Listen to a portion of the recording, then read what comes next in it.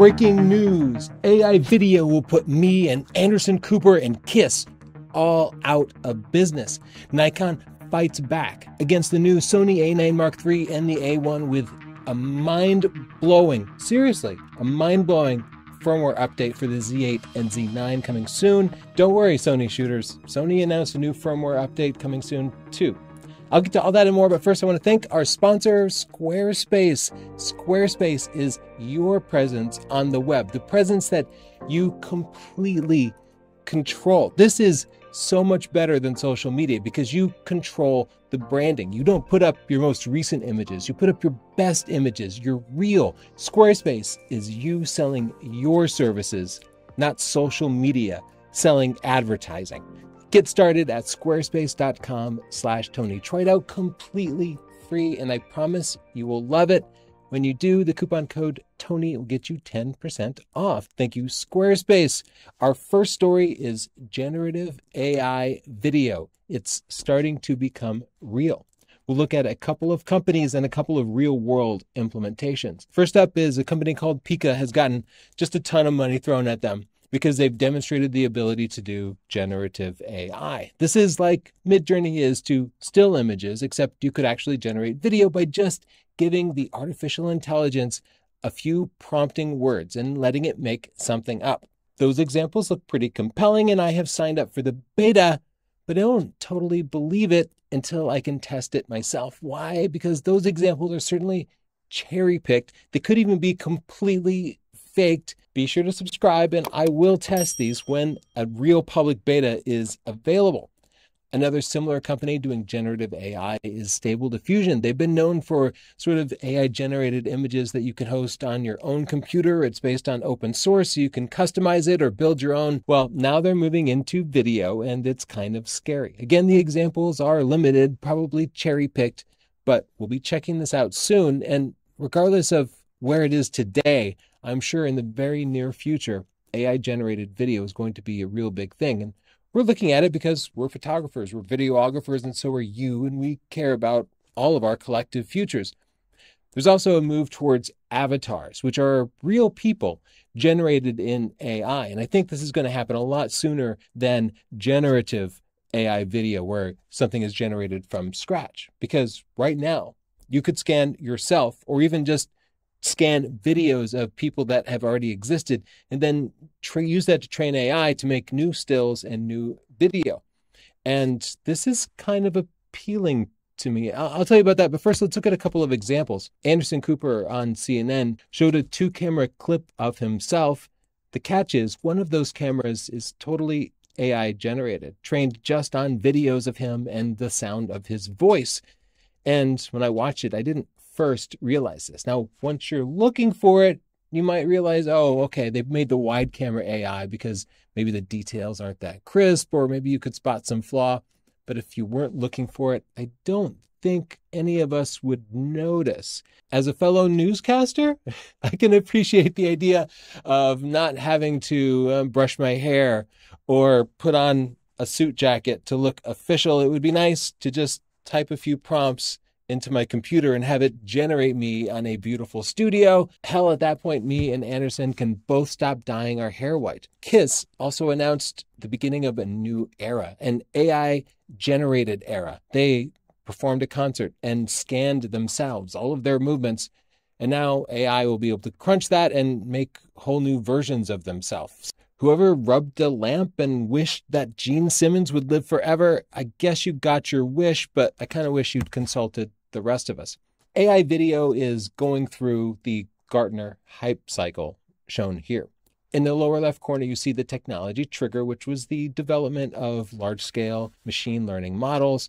And right now, we're, we're approaching the peak of inflated expectations. See, as we climb this peak, we're going to see companies like Pika, who can raise a whole bunch of money from the excitement around it, promoting themselves and the idea of it. And that cycle of hype and investor money will continue to build the peak for a little bit longer until we actually start to expect to see some of that stuff happen in the real world. And when they actually deliver it, we'll all be like, well, that's not nearly as good as I thought.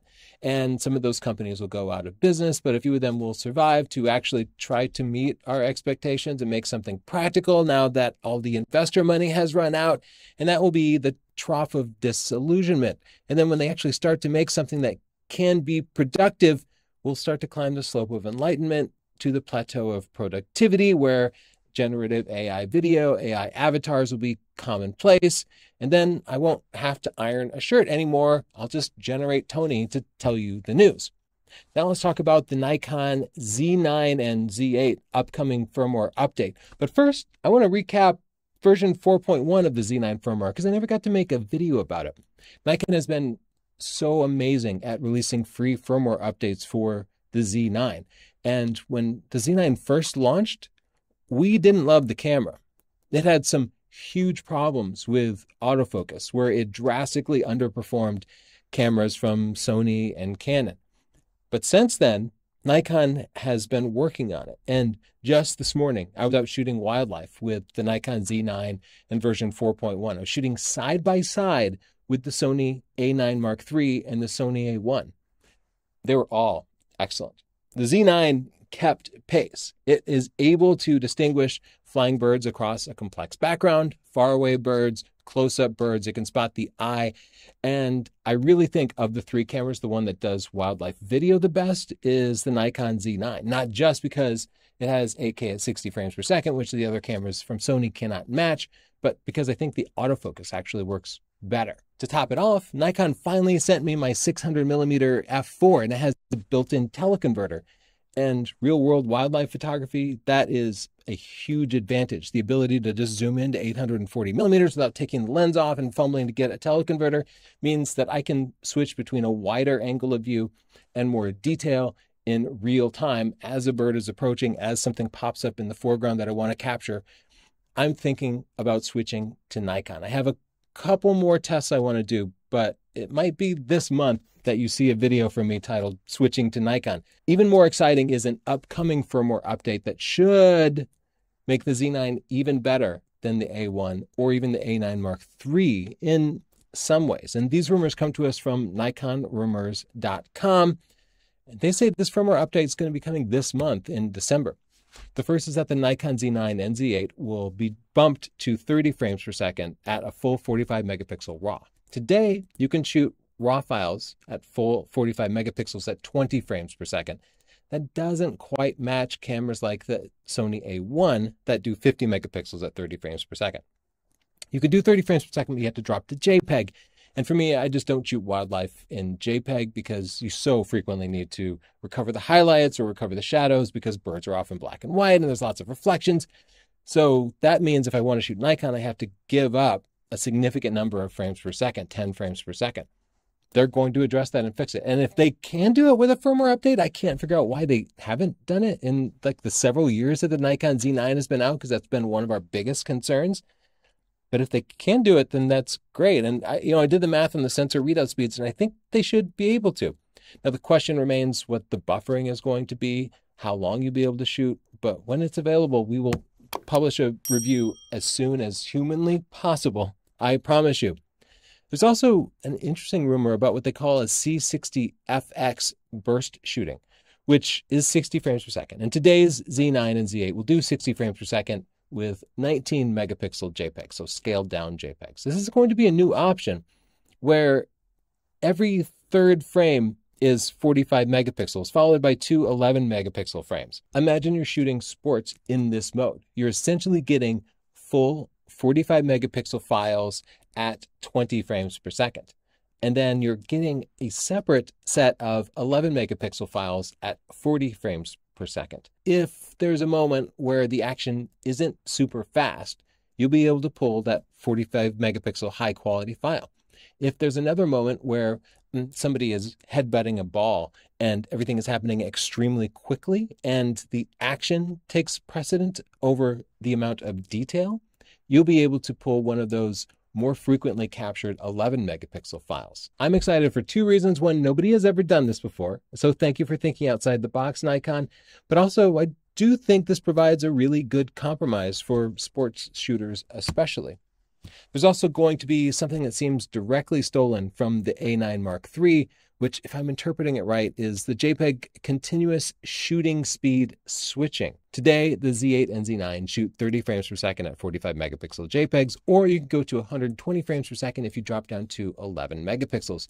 You choose one or the other by sort of pressing the shutter mode button and scrolling to select a different frame rate. My interpretation of this is that with the new firmware update, you'll be able to press a custom button and switch instantly from 30 frames per second to 120 frames per second, perhaps as long as you have the button held down. That's exactly what the A9 does.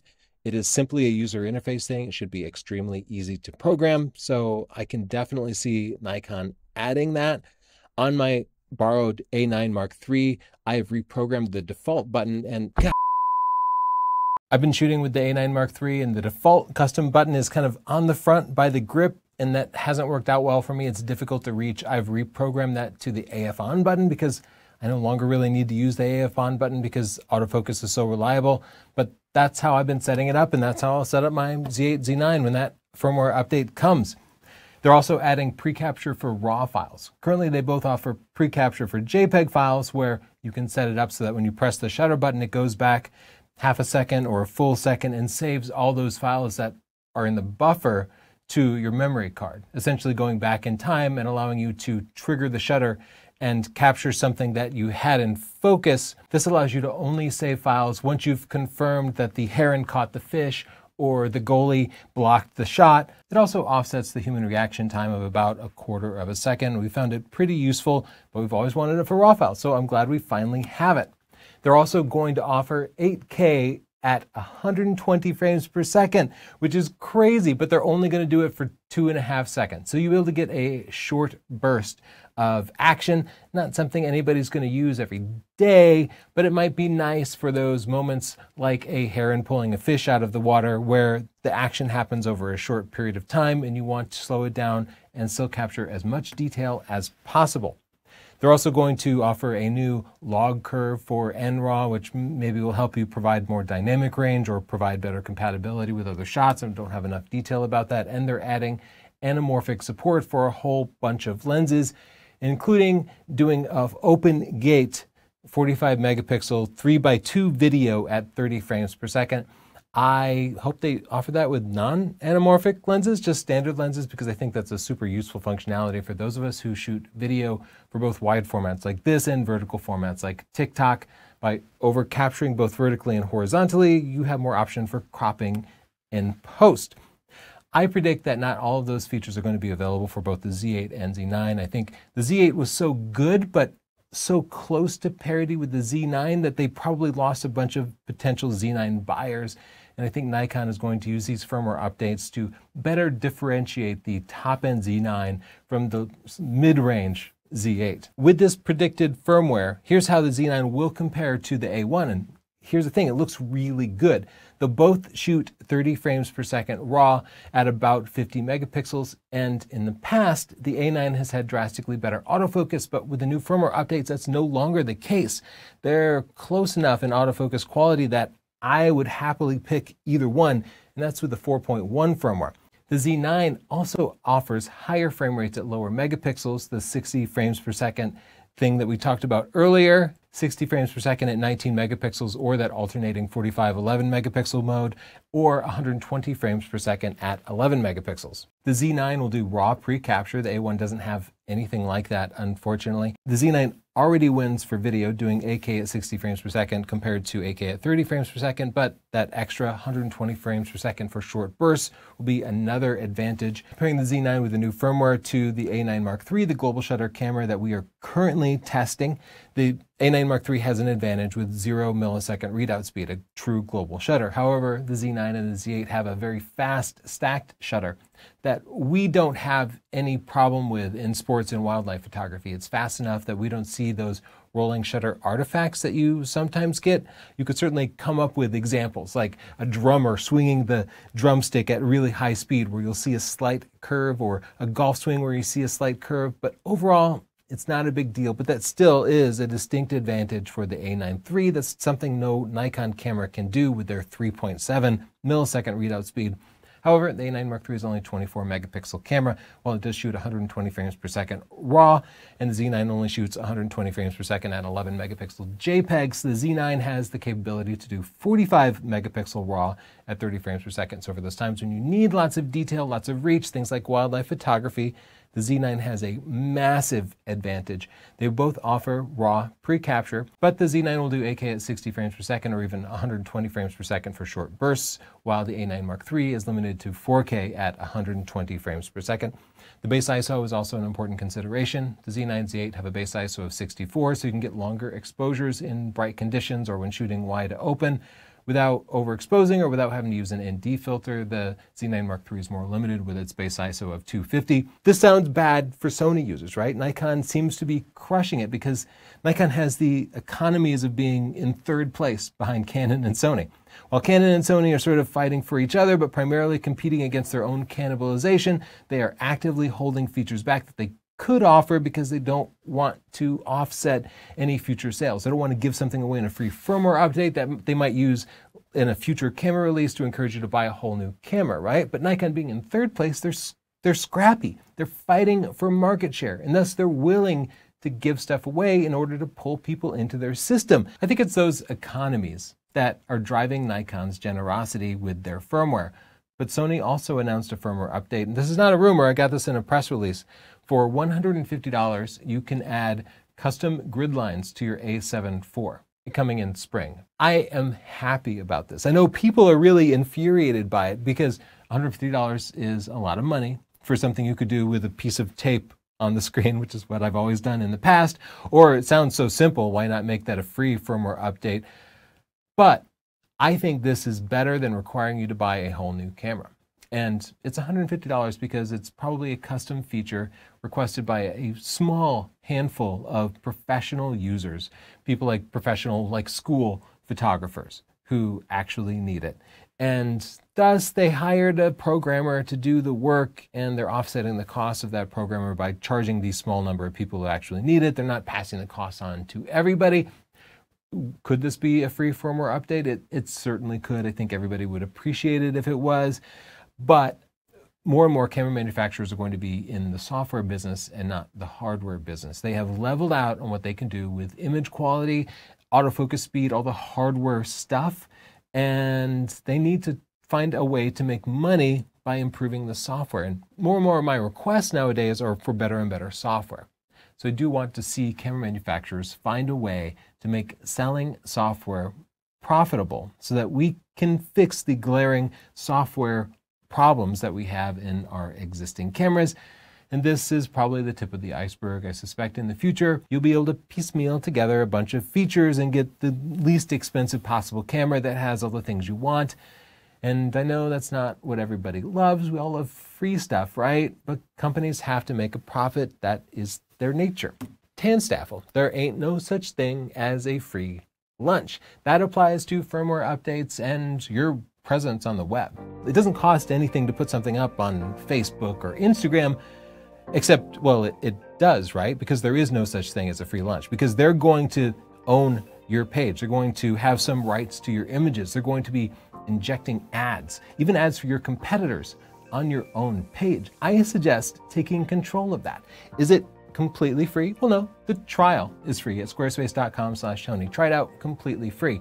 But after that, you'll have to pay. But that's a good thing because, again, there's no such thing as a free lunch. If you want your own custom domain, if you want to get emails at northrupphotography.com instead of gmail.com, if you want a store where you can accept orders from clients, if you want to be able to have a private space for images distributed to your clients, if you want to look your best you go to squarespace.com slash Tony and try it out. And then I think you'll see the benefits of it. You'll see how fantastic your photos and videos look. And you'll want to use my coupon code Tony to get 10% off. So check that out. And I think you'll appreciate that some things are worth paying a little bit for. Thank you, Squarespace. And uh, in the comments down below, let me know if you're excited about Nikon's firmware update, if you're pissed about Sony's firmware update, or what else is on your mind. Bye.